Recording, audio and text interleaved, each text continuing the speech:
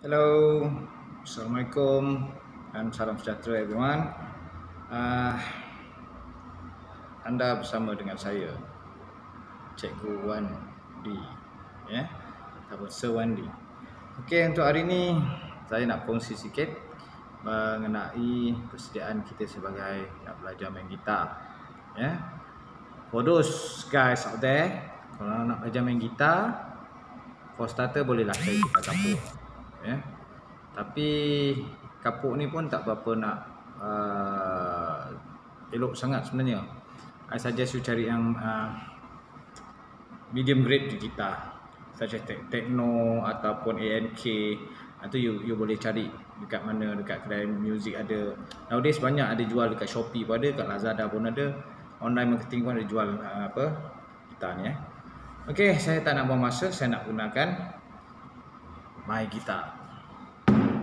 Sorry. This is my guitar. Vintage. Okay. Made in Korea. Sorry. Okay. Ini ada rosewood eh? Okay. First of all you have you should have a guitar. Tak kira lah sama ada gitar kapuk ke apa ke yang keduanya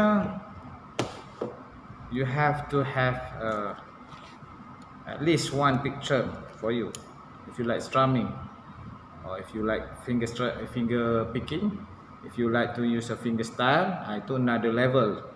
Uh, yang ni untuk mereka yang suka strumming ya, strumming for basic you should have this picture. Ada macam-macam size medium uh, hard tapi mostly kalau kita nak strumming kita jangan ambil hard. Hard ni biasanya untuk yang untuk yang uh, kaki gentil kaki goreng orang panggil eh.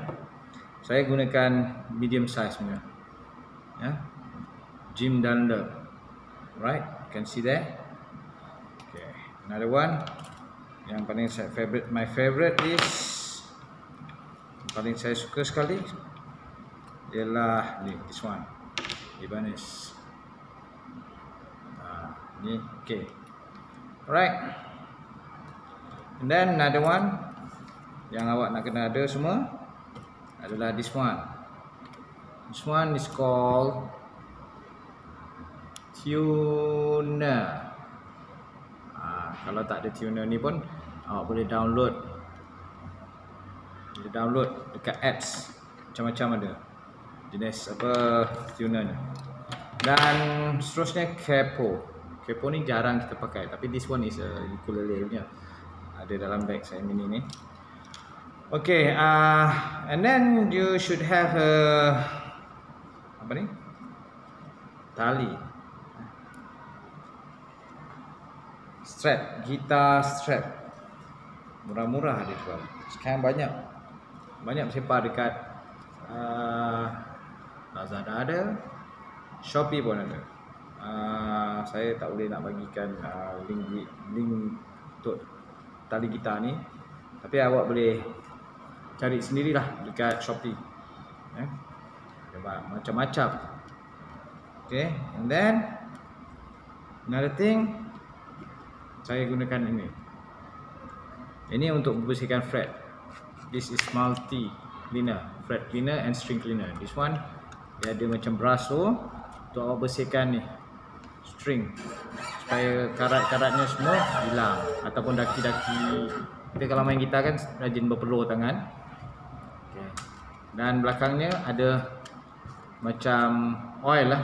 For lubricate lubricate the frets and the strings. Supaya bila kita main gitarnya kita boleh uh, apa nama? Boleh gerakkan chord tu dengan lancar. Okay another one another thing kita kena ada kain. Kain ni untuk bersihkan. Lepas kita main kita harus lap. Lap fret lap body dia lap kat neck abuk-abuk. Ya macam kita ada kereta kita pakai kereta kita macam mana kita nak bersihkan? Kita bersihkan kereta kan lap lepas masuk kita kita lepas kita jalan dah kotor kita lap bersihkan ya. Okey uh, another thing kena ada spare juga. Nanti bila dah sedap-sedap main gitar pang putus tali so saya standby kan ni tapi ni saya dah pakai dah saya suka pakai diadro ya diadro Diadero eh. Macam mana nak pronounce pun. Lagi satu Gibson. Gibson ni bunyi dia terlampau uh, shining sangat. Dia kurang bunyi uh, bass, bassy kurang sikit.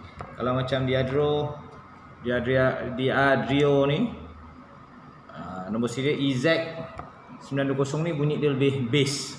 Bass, bass eh. And then uh, oh, want to show you something. Uh, this one nak kata soft case ke hard case pun saya pun tak tahu. Uh, tapi ni boleh dikategorikan sebagai uh, soft case lah sebab dia lembut kan. Lembut. And then the thickness dia tebal. Span eh. Jangan beli yang murah-murah punya. Sayang pada kita. Kalau terlepas jatuh menangis tak berlagu.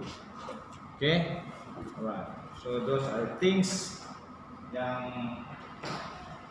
kena ada eh? as a guitarist player. Alright. First of all, sebelum every time kita nak main ke nak buat recording ke, kita kena tune. Pastikan tune ni betul. Okay, sebab itulah kena gunanya ada ni. Tuner, digital tuner. Banyak dijual dekat Lazada, uh, dekat Shopee uh, ataupun kita boleh pergi ke music store kedai muzik ada jual ya yeah?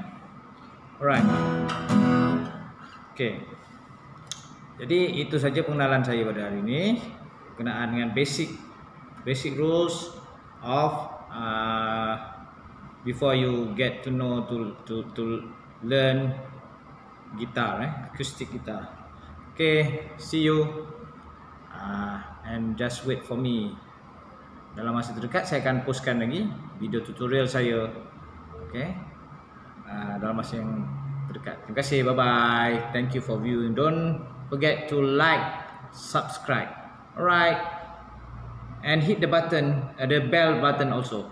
Bye bye